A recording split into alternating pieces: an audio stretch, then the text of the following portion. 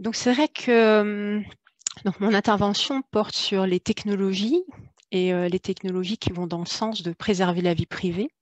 Et pour ce faire, donc, je vais m'appuyer sur un certain nombre de travaux qui, qui ont été réalisés dans le cadre de la chaire hein, dont parlait Bruno précédemment.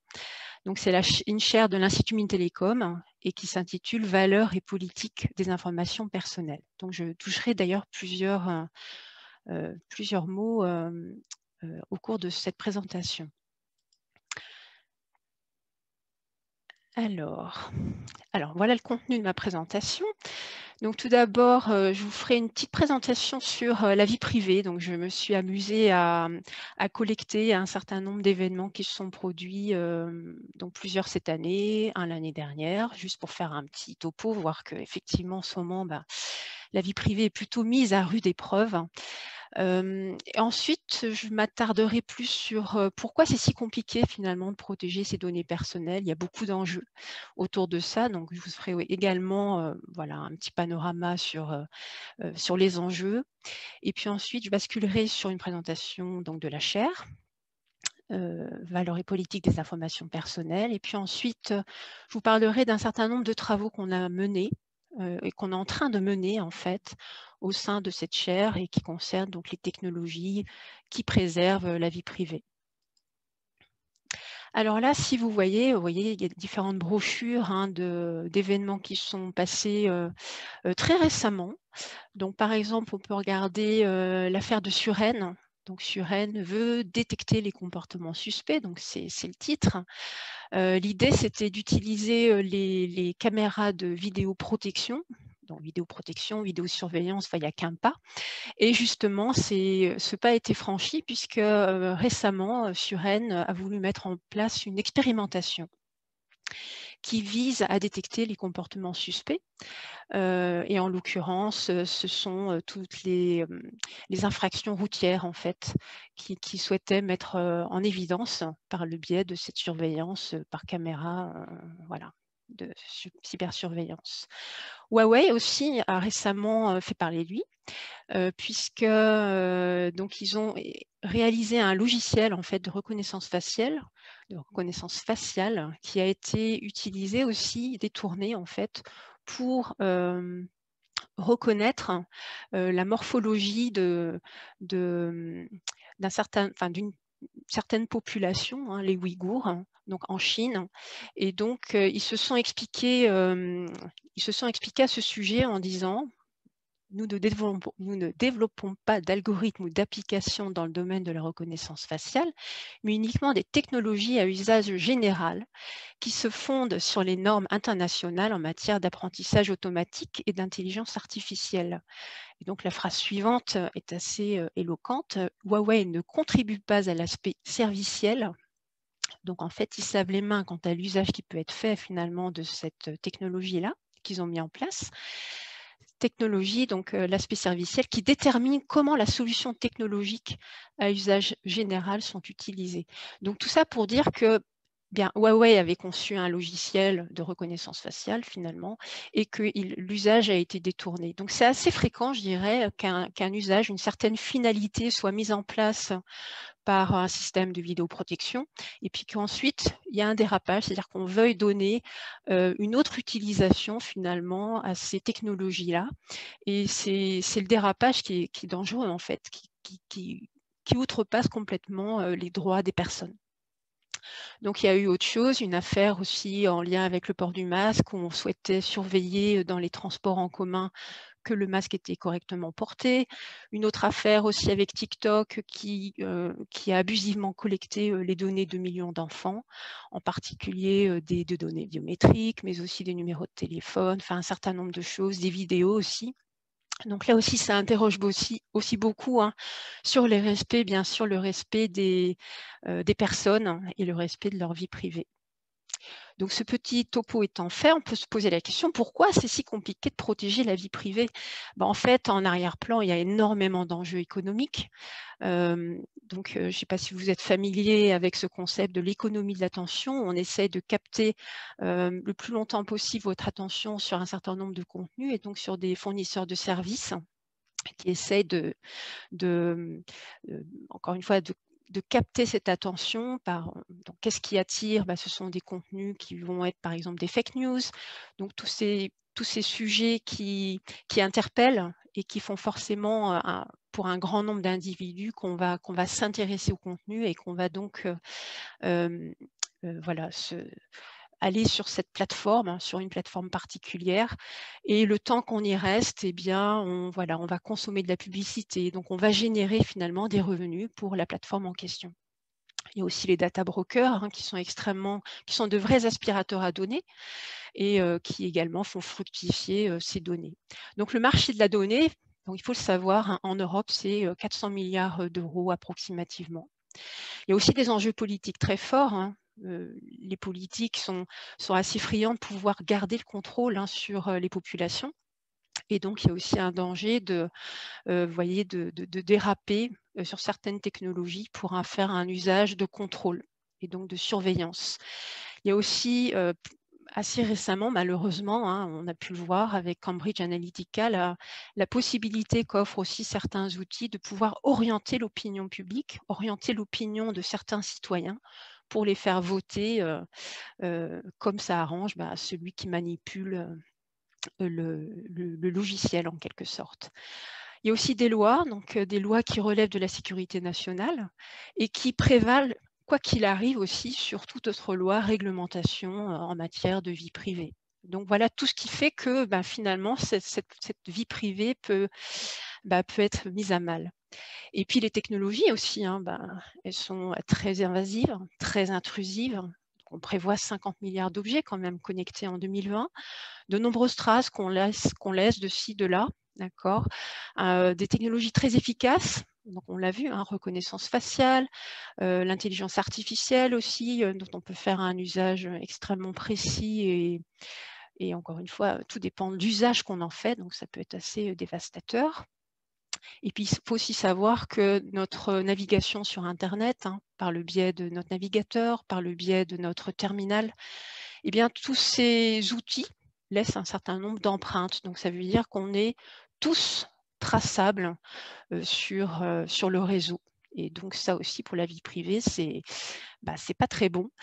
donc là, je vous ai mis par exemple profondeur de couleur. Donc c'est une caractéristique que vous allez avoir depuis votre terminal, depuis votre navigateur, et qui va être caractérisant du, du, navigateur à hauteur de 75%. Donc vous imaginez que vous combinez comme ça un certain nombre de ces caractéristiques, et ce qui va faire que non pas par la connaissance de votre identité, de votre identifiant sur Internet, non, pas par le biais de ce, type d'information-là, mais plutôt par des caractéristiques qui sont liées avec à votre navigateur, on va pouvoir déduire de façon sûre que c'est voilà cette, personne, en tout cas, enfin, cet équipement-là qui revient depuis ce même navigateur euh, accéder à un certain contenu chez un fournisseur. Donc, vous voyez, on va pouvoir être traçable et c'est très simple à faire. Donc là, je vous fais un petit topo aussi sur euh, la chaire de l'Institut Mines Télécom. Donc, elle a quatre composantes. Euh, donc, c'est pour ça que c'est la chaire de l'Institut Mines Télécom.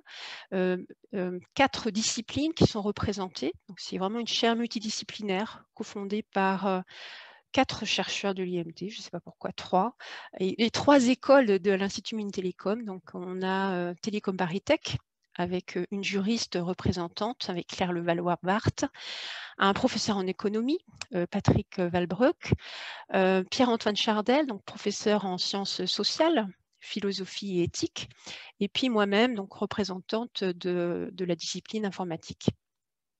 Donc cette chaire, elle est, cofondée par, comme on l'a dit, un quatre chercheurs et elle a aussi le soutien de plusieurs mécènes. Donc là, je vous ai, vous précisé les locaux donc a une groupe pour tout ce qui concerne les passeports, les cartes d'identité. Donc ils sont en premier plan en France, mais également BNP Paribas, Orange, Dassault Systèmes, Soprasteria.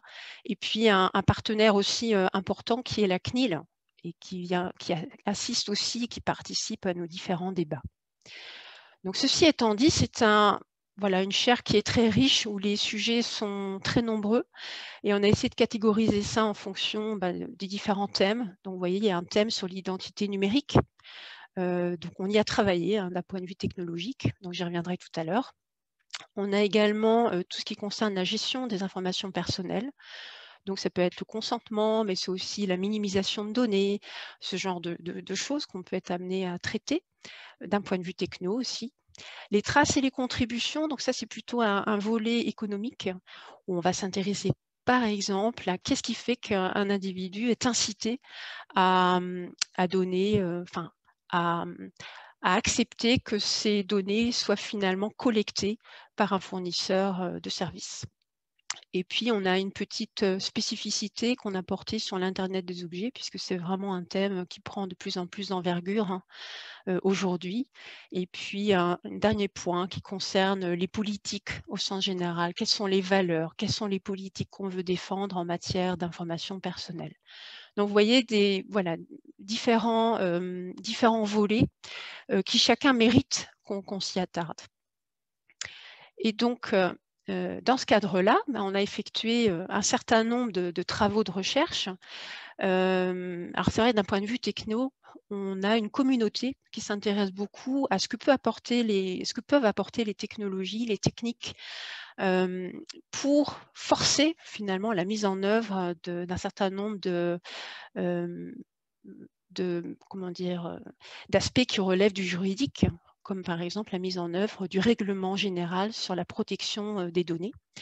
et donc là, il y a toute une communauté qui s'intéresse justement à ces technologies, ce qu'on appelle les PETS, donc Privacy Enhancing Technologies, donc en français les technologies qui préservent la vie privée. Donc on va s'intéresser à mettre en œuvre typiquement comment on peut minimiser les données, comment on peut gérer un consentement. Et qu'est-ce qu'on va être amené à, traiter? C'est-à-dire, on, répond à un certain nombre de, demandes. Et, entre autres, ça va être donc ça va être en fait à chaque fois répondre à un problème, mais c'est ambivalent. C'est-à-dire c'est je veux un service personnalisé parce que ça m'intéresse, j'y ai pris goût, mais en même temps je veux pas que mes données soient collectées. Donc c'est un petit peu contradictoire, mais la technologie peut aller aussi au service euh, pour répondre à cette problématique-là. Donc ça aussi, c'est intéressant. On peut également avoir le problème de vouloir certifier un certain nombre d'attributs. Donc par exemple, je, dispose d'un permis de conduire, j'ai plus de 18 ans, donc ce type de voilà d'attributs qu'un individu peut avoir, sans forcément dévoiler son identité. D'accord Je peux vouloir faire un jeu en ligne, accéder à un jeu en ligne, mais qui est réservé à des personnes majeures, sans forcément vouloir dévoiler toute mon identité. Voilà, je suis un individu, j'ai tel numéro, de carte d'identité, donc voici mon nom, mon prénom, etc. Je ne veux pas ça, je veux juste prouver que j'ai plus de 18 ans. Et donc, on peut répondre techniquement, technologiquement, par la techno, donc à cette problématique.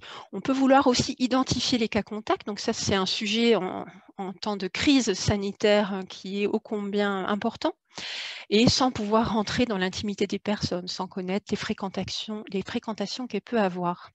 Et donc, il y a un certain nombre de solutions qu'on a conçues, développées au sein de la chaire. Et donc là, je vous parle de travaux euh, récents. Hein.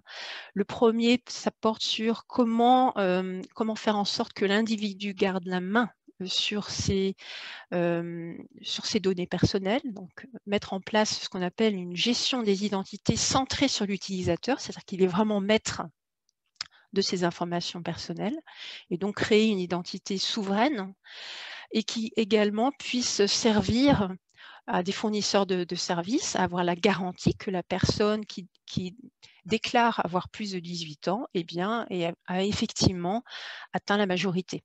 Donc c'est voilà, ce type de, problématique qu'on a adressé en utilisant un certain nombre de, technologies scientifiques. Une autre application, donc c'est donc plus récent, hein, qui bien sûr qui, a été initiée en temps de crise sanitaire, c'est de faire, de créer une application de type tous anti-Covid, mais qui soit beaucoup plus décentralisée que ce qu'on connaît aujourd'hui. Alors quand je dis décentralisé, c'est empêcher par exemple qu'un score en matière de risque d'infection eh bien, ne soit calculé par une autorité centrale, mais soit calculé par l'individu lui-même, c'est-à-dire par son application. Donc c'est en ça que c'est décentralisé. C'est aussi, euh, on s'est attaché aussi à regarder euh, l'aspect robustesse du système, donc éviter que un individu euh, malveillant, par exemple, puisse influer le score d'un autre individu et le faire passer pour un risque très fort d'être cas contact. Et donc l'idée, c'est d'empêcher les fausses déclarations dans, le système global hein, qui gère justement ce type d'application donc tous les faux messages de contact, qu'on puisse les détecter et qu'on puisse les mettre de côté. Euh, on s'est aussi intéressé à une navigation web qui soit garante euh, de la non-divulgation précise des préférences de l'individu. Donc, on vient bruiter en fait un profil et permettre quand même aux fournisseurs de services d'apporter un, contenu ou une, présentation qui soit personnalisée en fonction euh, des, des aspirations, des centres d'intérêt de la personne, mais sans connaître son profil exact comme c'est le cas aujourd'hui. Donc on, voilà, on avait des résultats qui étaient, vraiment intéressants sur ça. On a pu euh, euh, faire une validation expérimentale. Donc là, pour en terminer, parce que mon temps de parole est compté, eh bien, euh, si vous souhaitez nous suivre pour les travaux que nous effectuons dans la chaire hein, sur les différents pans, encore une fois, hein, économiques, juridiques, philosophiques et techniques, eh bien, vous, vous, pouvez, donc vous avez accès à un certain nombre de matériels, donc un site web, vous avez aussi une newsletter, donc il y en a à peu près 3, 3 4 fois par an. Euh, il y a un feed Twitter qui est aussi extrêmement bien nourri donc, si vous êtes très intéressé par l'actualité concernant euh, la vie privée, la, problématique de, euh, de, la législation, qu'est-ce qui se passe en Europe en la matière, bah, vous pouvez vous inscrire. Euh, et on effectue également un certain nombre de rencontres annuelles avec des tables rondes, des débats avec des spécialistes, des tables rondes qui peuvent porter, donc là je vous ai mis hein, un ouvrage qui portait justement sur comment répondre à, un besoin de personnaliser des services tout en préservant la vie privée. Donc, euh, donc, on a justement créé un livre électronique qui est téléchargeable gratuitement et qui vous permet de prendre connaissance justement de quelles sont ces technologies de préservation de la vie privée, comment elles se présentent, sur quel fondement euh, technique, scientifique elles reposent. Et vous avez également un certain nombre d'ouvrages qui ont été rédigés à plusieurs mains donc de façon multidisciplinaire, donc, puisque c'est aussi ça l'intérêt, hein, bien sûr, de, la chaire, euh, disponible gratuitement chacun. Donc un sur l'identité numérique, donc ça a été fait en 2016, sur les signes de confiance. Donc c'est un sujet qu'on n'a pas fini d'ailleurs de, de, considérer, en tout cas, puisque le prochain ouvrage portera justement sur la confiance euh, en lien avec euh, voilà, la philosophie et puis le pan économique, juridique et technique. Donc voilà ce que je voulais vous dire. Et en conclusion, finalement, quel est l'apport que peut avoir la technologie en matière de vie privée? Ben, Je pense que c'est vraiment une bonne solution. Ça permet d'imposer par la technologie la préservation de la vie privée. Alors ça a un certain coût, certes, mais euh, ça permet aussi d'avoir des garanties. Et euh, l'idée un petit peu plus récente euh, que je défends aussi, c'est que finalement, pour lutter contre les mauvais usages, on a vu que les dérapages en matière de technologie étaient assez fréquents finalement. D'accord, différents outils, reconnaissance faciale. Enfin, l'idée, alors après c'est une idée générale, ce serait de finalement de réussir à venir verrouiller ces applications donc qui, qui, repose sur de la technologie forte, sur des finalités qui ont été décidées au départ, en fait. Et ça permettrait d'éviter tout débordement et tout usage mal approprié, en tout cas, de ces technologies. Voilà, je, je vous remercie.